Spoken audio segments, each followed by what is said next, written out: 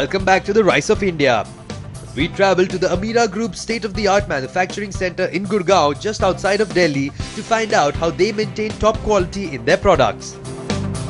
So the production cycle is based on April, May seed into sapling, late June, early July, depending on monsoon, transplantation. Harvest happens uh, end September onwards all the way to Jan.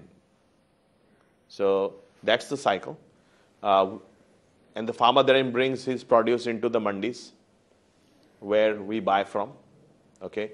After that, we bring the produce into our factory where we process it, and the processing involves lowering the moisture to a level where we can store it over a year, removing all impurities from the paddy as it comes from the field, and stabilizing the grain.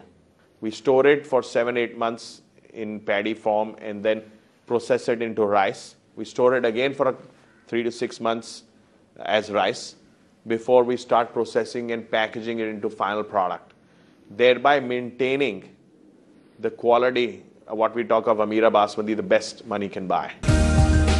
Karan Chanana believes that a key differentiator that will allow Amira to stay ahead of the game is technology. And this is what's driving the company's investment in both front and back end technology. Rewind back 20 years, we were the first, Amira's the first company to set up an automated basmati rice plant in India where rice was untouched by hand. We continued to expand capacity and we are doubling capacity as we speak now. Our plant is in Gurgaon, which is a suburb of New Delhi. Okay, It's based in around 20 acres of land. We are now setting up a second plant in Karnal, which is under construction right now. Okay, we aim to have that completed uh, soon within this year. Uh, and as we grow, we are going to be adding more facilities. We acquired uh, a company in Germany last year, which comes with a small uh, processing facility where we do smoked basmati rice. The world is evolving rapidly and we see the change coming. And that's why uh, we've always used technology at the forefront. We were the first rice company in India to tie up, for example, with Snapdeal. We understand the online marketplace. So it's not only back-end technology, which uh, is related to processing.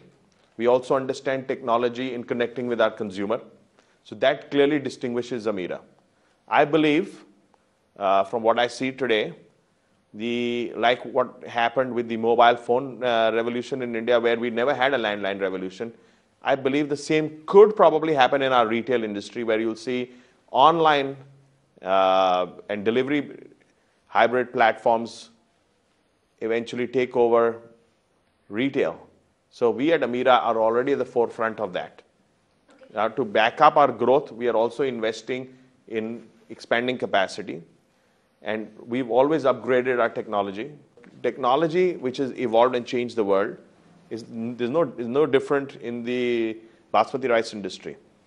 Now, talking of how technology has made a difference to the industry, over a period of time, the government of India has done a great job in, and the scientists have done a great job working at the Pusa Institute, also known as IARI, in developing natural seeds.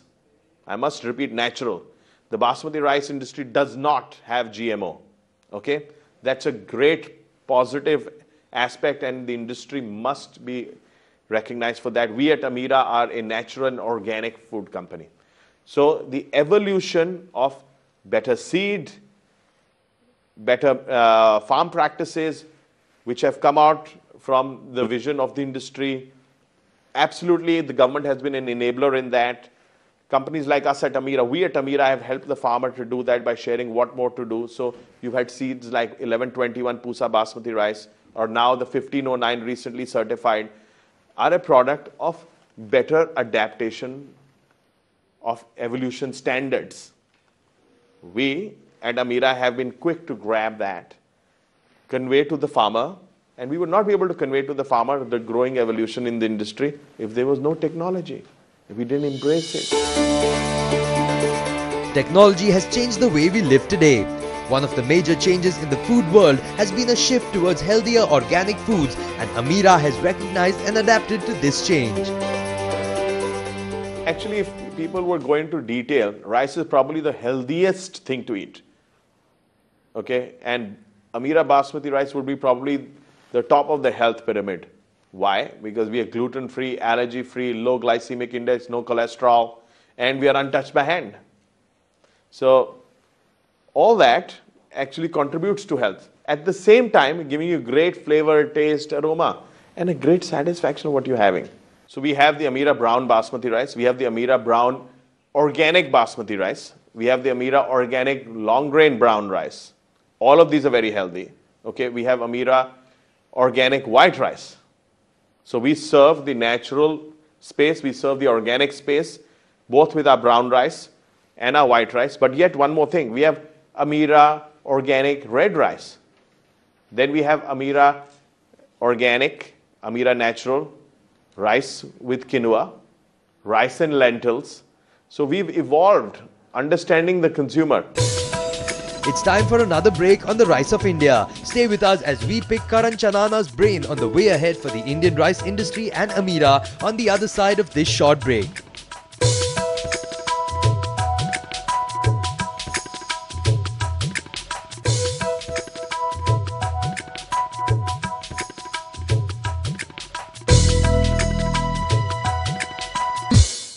Does India have all it takes to become a global sourcing and manufacturing hub? SBI and CNBC TV 18